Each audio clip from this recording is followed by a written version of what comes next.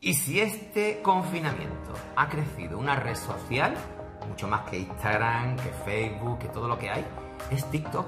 Es tremendo.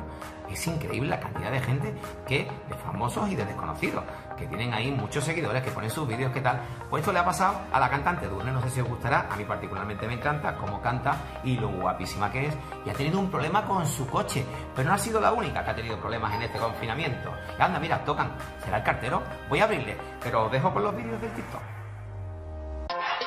Boom, yo, ka. The thing goes